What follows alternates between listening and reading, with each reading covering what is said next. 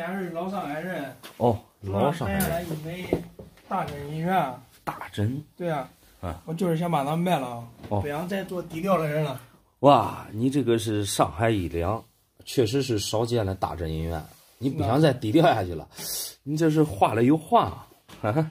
实话实说，啊俺家都穷三代人了。哦，上海人应该吃香的喝辣的，哦，早就想把它卖了了。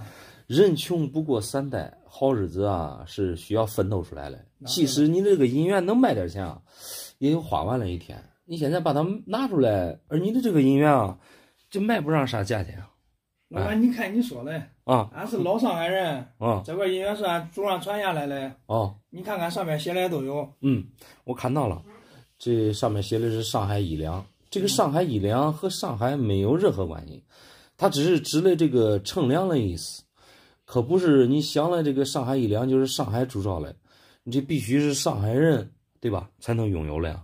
啊是的？啊，那对啊，可不是这个意思啊咱别抬杠了吧？啊俺都是上海人，啊把它卖了，我就是想叫身价嗯能达到百万。哦，说实话，你这块银元拿到手啊，怎么看在恁家也不会时间长了。至于你说的上百万，我看有点难，哎我看不难，啊，你这在俺家几十年了，嗯我在网上也查了，嗯肯定是几百万的东西，啊，我懂。你懂，你懂的话，不至于相信网上的那报价了。就这样，毫不夸张的说，这种上海医疗银元啊，是属于央币，是当时的英国港督为了方便国内外的交易而设计的。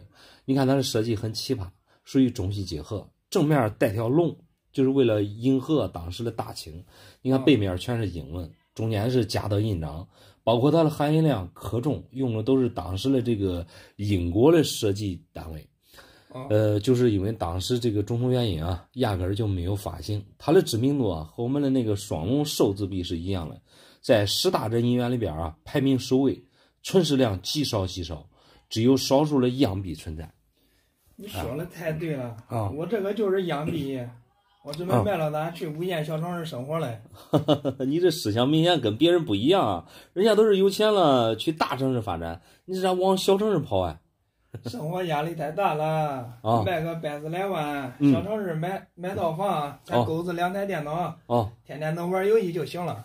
哈哈哈，照你这样说的话，鹤岗比较适合你，房价那边比较便宜，而且消费也不高英雄所见略同啊！啊我就准备去鹤岗，啊。你赶紧给我看看能卖多少钱吧。嗯，还是那句话，你拿来了这块上海一两啊，是银元界的大热门，非常稀少。那对现实生活当中啊，却处处可见。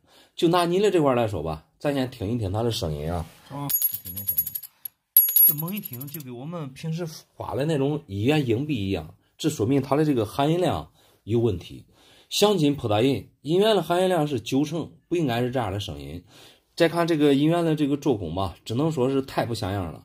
银元的压力非常浅，分明就是敷衍了事，包浆边吃，咱都不过多的看了。总而言之一句话，妥妥的现代的工艺品。个人觉得也都几十块钱一块吧，我看是假的你去酒吧，啊，你看的一点都不准，不准还几十块钱一大管，啊。我给你一百，你给我来一个吧。呃，准不准？你再找人看看。你你别说给我一百，你都给我二百也没有用，因为经常玩真银元的是不会买这种东西的，明白吧？我也不撵你了，嗯反正你把我气的不轻，啊你赶紧走吧。啊，行，上海人很文明，你消消气儿啊。可能我看了不准，你别生气，麻烦你再找个高手把把关，说不定会有惊喜。祝你大卖。肯定大卖嗯啊！，给还给你。将来我发财了，嗯再给你鉴定消费。呃，不用不用，祝你梦想成真吧。那中。嗯